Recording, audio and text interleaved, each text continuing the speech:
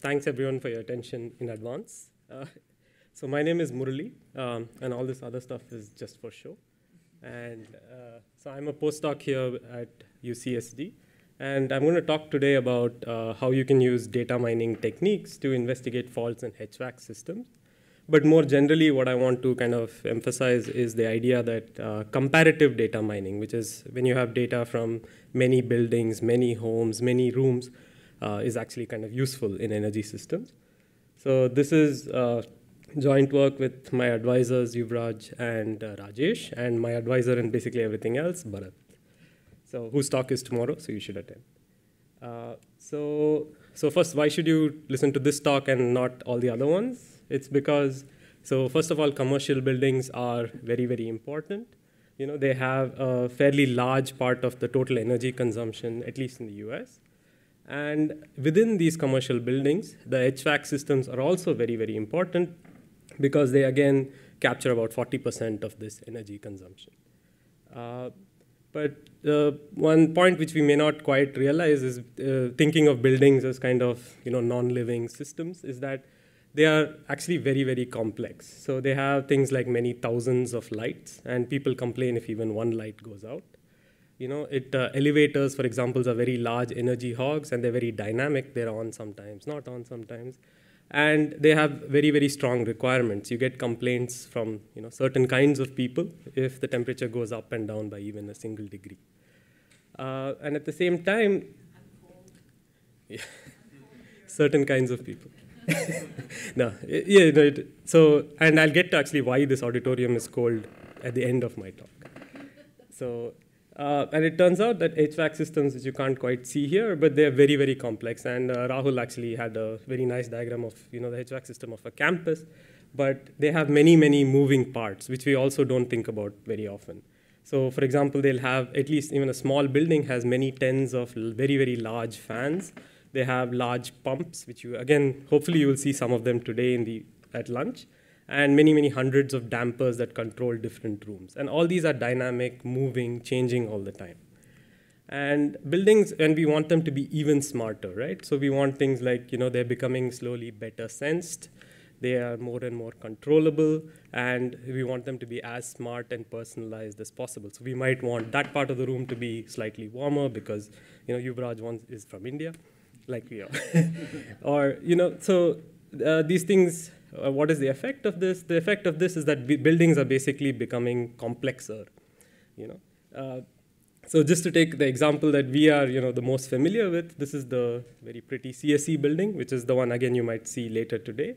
So it's a fairly small building, and it's quite new. Right? So 237 zones is about half the number of rooms that the building has. It's only four floors, and Yet, you know, even just the simple uh, data that's being collected right now is something like uh, has 5,000 sensors distributed across it. And what we don't quite think about often is that these sensors are actually another layer of complexity. So not only do we have to worry whether the fan is not working, we have to worry whether the fan sensor is not working. And but you know the good thing about these things is that you know data, which is you know very important to us data people. So the question is how can you use this data more intelligently? But the point is that you know, com as complexity increases, the faults increases. So this is uh, some data actually taken from, uh, you know, it's very scary when the paper is written by someone in the audience. And I imagine Marianne looking at this quite disapprovingly. But uh, the point is that, you know, in the simple studies, many, many buildings, uh, they have, have a large number of faults. And what other people have shown is that there's a large potential of energy saving. So if you think about, you know, 40% of commercial energy is being consumed in buildings, and they could use 40% less, right? And you know, simple experiments where they actually try to fix a lot of these faults showed that you can actually get verified. That is, show that by fixing faults in buildings, you can save a large amount of energy. So who wouldn't want to do that? So it's obvious that once people realized that you should, so there are there is what is called fault detection and diagnosis, which a lot of people have looked at, and you can think of uh, you know a number of different uh, uh, techniques of different complexity to look at these things, from just simple alarms to rules to statistical methods and so on.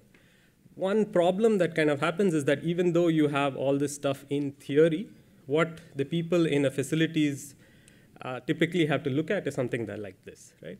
So it's just a chart, you know, with some numbers over here, some names, you know, 852B, and then something else over here, and then a bunch of alarms, right? And these just keep popping up if you try to open this, and it's, it's very, very hard to look at. So what happens is basically you have a data deluge. To give you an idea of this, per day on UCSD campus, you get 10,000 such alarms popping up. Right? So it's impossible to think about anyone actually looking at any of these alarms, fixing any of these alarms, considering that there may be 30 people working for this thing. Right? So what can you do? Okay, so the prior work in trying to find faults automatically and more intelligently can be very loosely uh, combined into a few different ideas, rule-based, model-based, and change-based. So I apologize in advance. I mean, the first part of this talk is very picturey, so I'll bore half of you, and the second half is more technical, and I'll bore the remaining people. And then I'll run over time and piss off Yuvraj. So, you know. so what is a rule-based method? So rule-based method is very simple, which is that if I'm heating the building, but it's still cold, then raise an alarm. Right? And you can think of slightly more complicated rules, but this is typically what you would do. Model-based buildings, uh, you know, drawing on models like what uh, Rahul was talking about in the morning and so on are more complicated. And they say that you know, if I heated the building, then I expect you know, airflow, hot air to go up like this, this part of the building to be so hot, this part of the building to be so cold. But actually, I got something else. So raise an alarm. And then finally, there are kind of the more data-driven or change-based methods, which say things like, the last time I heated the buildings, the sensors told me that you know the room was probably the house was prob- properly heated and everyone was fine. But this time, when I tried to heat the building, it was all cold, so raise an alarm. So while cartoonish, I think this kind of characterizes the, these kind of methods. So what is wrong with all of these? So rule-based methods have to be fairly building and climate specific. So you, what is an alarm in one building may be normal in uh, San Diego, for example. And models tend to be very, very hard to build, and you, we heard all of that in Rahul's talk, and I think we'll hear more about it later. And the problem with change-based uh, methods is that they don't handle what I would call long-standing faults. So it turns out that when a building is built, there are a lot of faults in a building, in the way they are configured and so on. And no change-based method can detect these because they never change. They're always wrong. So what we want to do is try to come up with at least one method that can fix some of these things and combine them more intelligently. So what is this talk about? So basically, uh, what I will do is so that this comparative data mining technique can find long-standing faults in our building test bed. We actually find a fairly large number of them. And the idea is that uh, when we have a building with 400 rooms or 237 zones, you can compare zones to each other. So even if you don't know what a fault is, you can always tell that this zone is very, very different from some other zones, so maybe there is a fault. And this tends to be more robust to differences in buildings and so on. And the highlight is that it's almost largely completely data driven. So it was done by me who knows nothing about buildings. So it should work in other places with other people who don't know about buildings. Right? And at the end, I'll kind of, you know, not quite get into it, but I'll, what I want to say is that there is still room for human in the loop. So the idea is not to replace humans completely with, you know, data, but there is a lot of benefit to the 80-20 rule, which is you do data mining to find something, and then ask humans what to do with that information. So uh, basically, uh, now I'll just, I kind of hopefully convinced you that fault detection and diagnosis is important. And now uh, I'll go over some little bit about the HVAC system before getting into some algorithmic details. So the HVAC system, even at this cartoonish form, is fairly complicated. Uh, so it has two parts. One is the cold water cold or cooling part and the heating part. Forgive the technical language. Uh, so the idea is basically that, in, at least on our campus, we have a central plant which provides cold water. And this is, you know, uh, air is passed near, near enough to this water to become cold. And this cold air is pumped into rooms and zones and so on, cooling them. And the air is returned, and then the cold water becomes slightly hotter and then circulates around campus. Similarly, we have a hot water system, which takes in hot water, and you want to keep these two as separate as possible, so you don't want to heat and cool at the same time. And this kind of is the more complicated HVAC system. But what we're actually going to talk about today is what I call VAV boxes, which is where in the room this hot air is pumped in and this cold air is pumped in and so on. So uh, what are these VAV boxes? VAV boxes are variable air volume. And, so, and uh, basically what they are is a zone-specific control device. You can think of a zone as a room, though it's not always the right mapping. And what they have is essentially a bunch of sensors. So for every room, you would know, you know, what is the temperature there and how much, how, how fast air is being pumped in.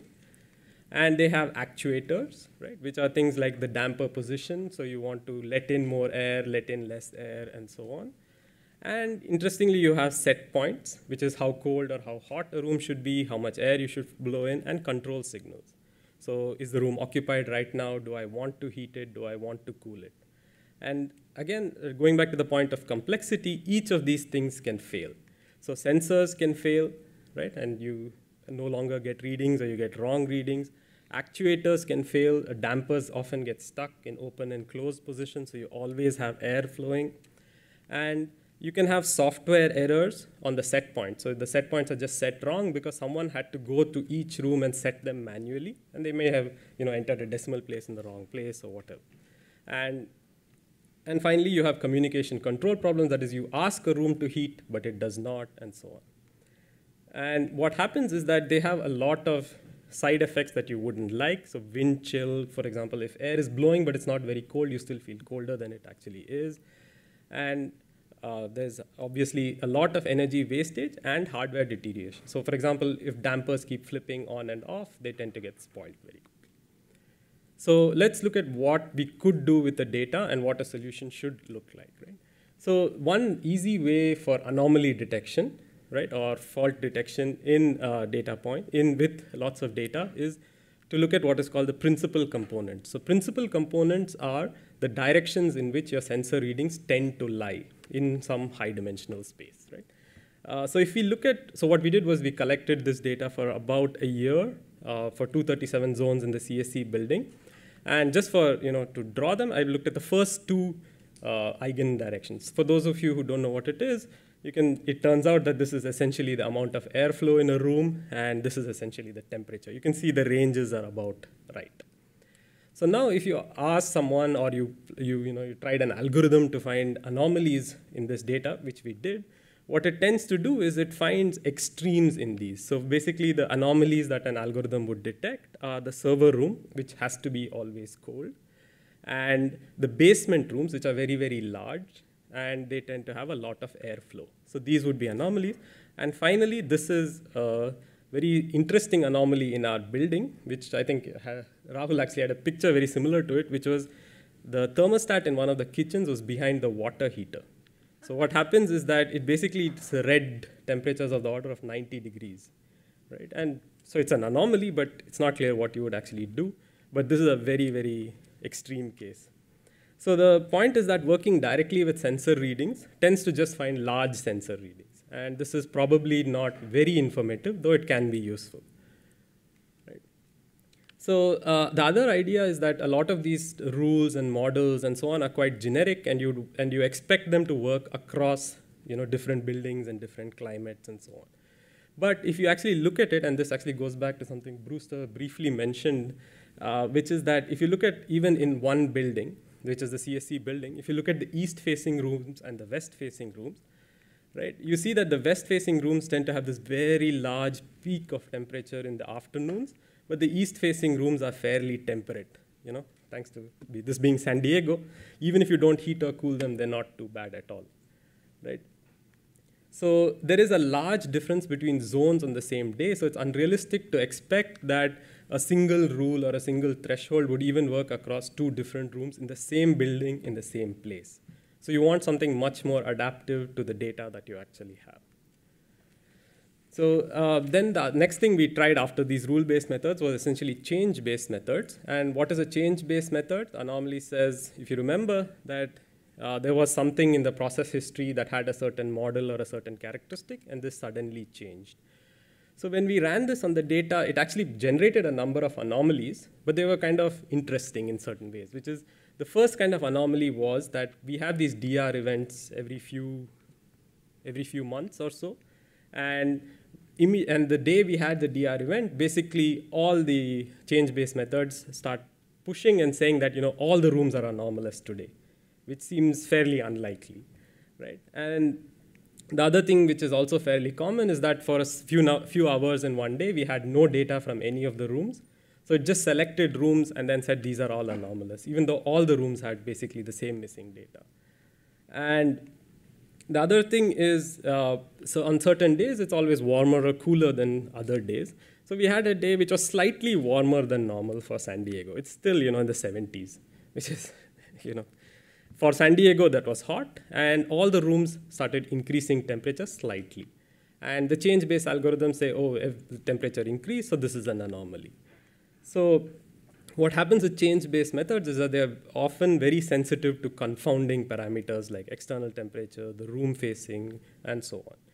So putting it together, we have these three problems that I discussed, and what we want is to kind of account for all these things. So how do we avoid working with sensor reading directly? We want to build models, you know, kind of like, but simpler than the ones Rahul was talking about in the morning, but th that actually capture the interrelationship between sensors and actuators in a room rather than just looking at the sensor readings directly. And to account for large differences between zones, what we want to do is cluster rooms with the same characteristics. So we want to consider anomalies on east-facing rooms, west-facing rooms, and also independently. And to to again, to account for the sensitivity to confounding parameters, we want to compare rooms that have the same confounding parameters and then declare anomalies. So very creatively, we call this method model cluster compare. Right? So I'll talk a little bit about this method. So the, the idea is that what we do is we just take the data, and for each room, we build black box statistical models connecting the various sensor readings, cluster those model parameters rather than the sensor readings, and compare them using any anomaly detection technique. So what I'll talk about now is a very first cut kind of method where we use linear models of the sensor parameters. Uh, and we use a very commonly used clustering algorithm called k-means. It doesn't matter if you know, don't know what these are, because there are many, many, many alternatives. So you can, you know, combinatorial number of alt alternatives, and you can see what works. And I think that's kind of an interesting direction to figure out what's the right thing to do. So, uh, so the idea behind uh, the modeling step of MCC is that all the sensors and actuators are all sensing and actuating the same spatio-temporal space in some sense. So they, they have what is called analytic redundancy or you know, simpler ideas correlation. So the sensors will, so if you increase airflow, temperature will go down, right? And this is captured by any model coefficients. So for example, we use a linear model, right? And we say that you know, the energy consumption is some linear function of the sensor and actuator readings plus noise. And you can just learn these sensor and actuator readings and look at, for example, where the coefficients are high. And this gives you a characterization of that room, right? And what we then you can do is, and what we have done is we built models for each of the zones using some amount of data. And here again, we look at the different directions, right? Just the first two eigen directions. These are uh, hard to interpret, and but what we see is that uh, they are kind of much more tightly clustered, I would say, and the extremes are very different kinds of rooms. Uh, and I'll talk about what uh, these anomalies are in a little bit of detail later on. So how do you decide if something is an anomaly or not? Uh, we use uh, k-means clustering, and we actually use a specific version of that called k-means. For those of you who know about these things, never use k-means, always use k-means. It's better, you know, it has two pluses at the end. So, uh, and what we do is then you, you pick some number of clusters, and what the, an interesting question which is open in both machine learning and all applications is how many clusters should you use? And then you look at points that are far away from these cluster centers? And I'll go over a few of these just to give a quantitative idea of what anomalies look like. So one interesting anomaly that this immediately caught out, which was kind of the largest anomaly according to this algorithm, was one room where uh, actuation and sensing were not in sync. What that means is that whenever it was unoccupied, it was cooling it a lot, dropping the temperature. And whenever it was occupied, the reverse happened, right? So essentially somewhere in the software, there's a flip between the, what the occupied is doing and what the unoccupied is doing. It's not a big anomaly because temperatures don't really drift that much in San Diego. And it's always kind of within the range, but it's a clearly misconfigured room. Uh, and another anomaly, which is uh, kind of fairly common, unfortunately, and this is kind of why this conference room is too cold, is that uh, you have to condition a room for the maximum occupancy by law. So that is, unless you know how many people there are, you have to condition this room assuming it's going to be full. So there is something called an airflow set point. So that is, as long as it's occupied, the airflow has to be at least this much. So what then happens is that even if the room was fine before you started moving it into occupied mode, it gets overcooled if it is occupied less than you think it should be. And then it keeps getting colder and colder the whole time until you release it again. And what we found is that this is very, very common in most of the office rooms here. And, it's, and I'll get to a more interesting complication that happens next. Okay. So another kind of anomaly that happens is that we found that for a reasonably large number of rooms, the fact that the set points are supposed to change at the same time every day, which is when we think it's going to be occupied. I think Yuvraj spoke briefly about that. But for a number of rooms, this change doesn't happen. And again, the model building step kind of figures out that these changes which should be happening aren't.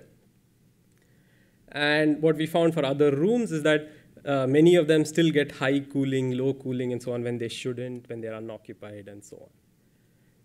So an interesting kind of anomaly is, uh, which we found is what I call a dynamic anomaly, and this is kind of, again, ties into why you want to look at models. So what happens in this room is that it has a very high set point, like this one, for example.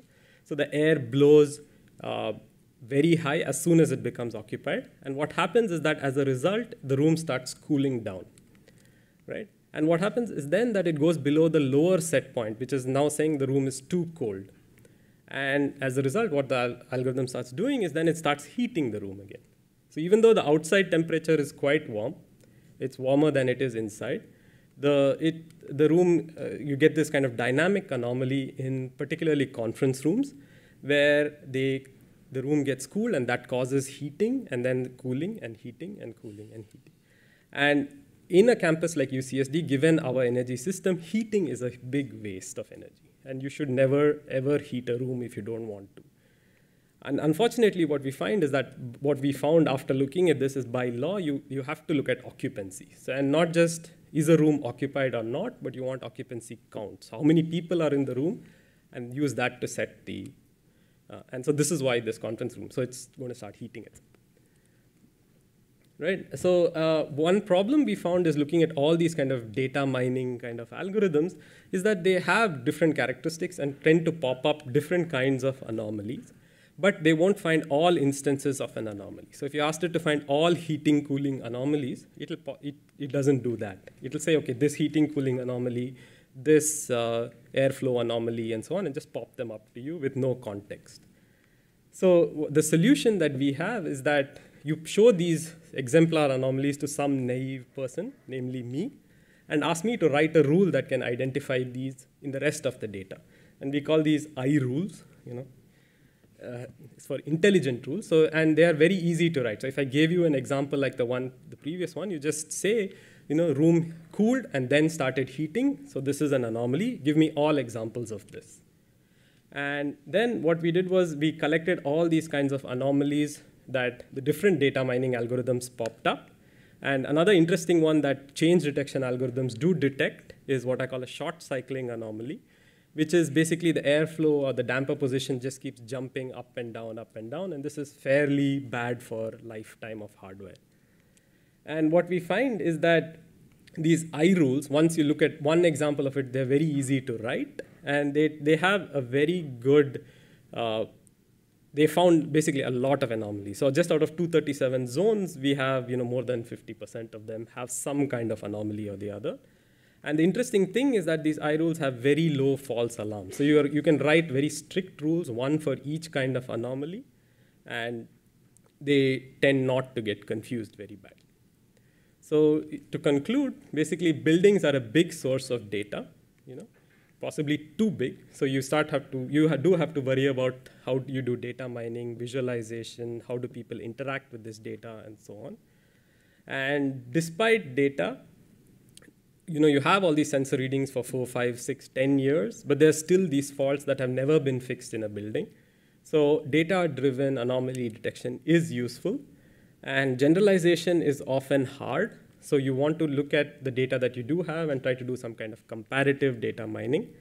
And what we found is that kitchens, conference rooms, these kind of common areas which are very, very rare and large and consume a lot of energy are often misconfigured in some sense. So what you want to do is basically occupant-based control. And finally, the bigger conclusion is that data mining is good, but human in the loop is better. So you want to kind of think about these questions.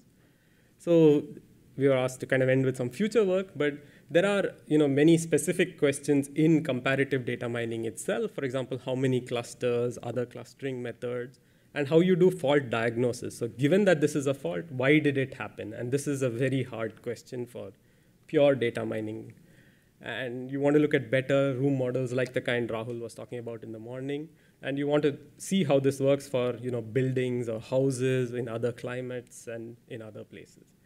And the more general or high level question is where is the line between human and data mining? Where should it be drawn? So you want to be able to do things like automatic rule generation. So you want to remove that part at least a little bit. Uh, and there's a big question of what is anomalous. And we in general are better at it than computers. Uh, and you want to look at can you automatically fix software and hardware errors uh, without humans at all or as little human involvement as possible. And so I'm just going to end there.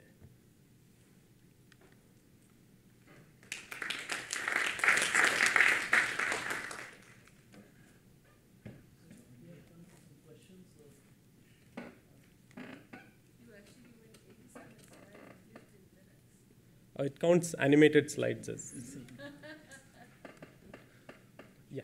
For your faults, did you go, did you, it seems like uh, all faults would not be equal, right? Some would save you a lot of money, some would save Yeah. you a little money, some would be easy to fix, some would be hard to fix. Did you do sort of any analysis or do your rules kind of start to get at that? So uh, the second part, completely no. So how do you, how hard or easy it is to fix? I don't think there's an easy way to figure that out. And for the first part, actually, so Yuvraj and his group have had work on what they call ZonePAC, which is how do you measure each zone's energy consumption, even if you don't have an energy sensor there. So what we are looking at is if you fixed an anomaly, this is what it should look like, and what is the energy consumption before and after using ZonePAC. And so this is in, so we, we will do this, but not yet. So, but we, I think the second one is a bit hard, which is how hard or easy is it to fix?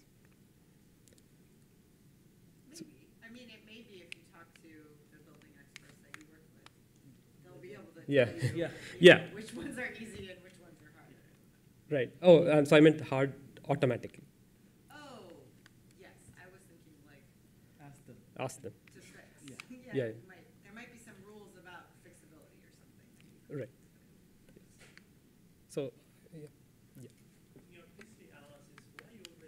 the first two alignment vectors? Oh, Because of the visualization here, or? yes, it is because of the visualization. so I, uh, Right, so there are about eight. So we have 17 sensors, and the first eight capture about 98% of the energy. And that's what we used for the algorithm, but to plot it, I just showed two. So, uh, so if I understood correctly, you are comparing uh, the model parameters that you uh, obtain by training uh, linear models on these rooms or equipment. So, so how much of this uh, um, outliers in your PCA are due to the fact that there is an anomaly in the system, or due to the fact that a linear model was not a good choice of the model? Right, so I think, uh, so the question could be between why did we stop at linear models is that they do seem to capture a lot of what we care about. And also, the structure of the model is more important. So you want to know, is there a relationship between airflow? Is there a strong relationship between airflow and temperature? You don't really care about how strong it is. So, I mean, do you understand? Uh, As in, you don't care whether this, the correlation is 0.5 or 0.6, but you care that it's greater than 0.3. Right? Uh, But as, like I left it here is we would want to look at whether nonlinear models are worth the extra effort for this application. Yeah. You noted how many, that there was a significant number of anomalies, um, even within the small test set. For a clustering algorithm, what happens when you get to a building that's so badly configured? Uh, like that, there's like, like a cluster of anom- of anomalies. Right. So this again is uh, this question, which is what is anomalous, and this is uh, I don't know. I want to say it's a data mining question, which is uh, it it depends. And if you're that bad off, I think you know someone else should be uh, worrying about. But uh, there is always a big question of is something anomalous or not, even given the model parameters. And this is like an open machine learning thing. And I don't think there's a right answer. So it, what is an anomaly depends on the application.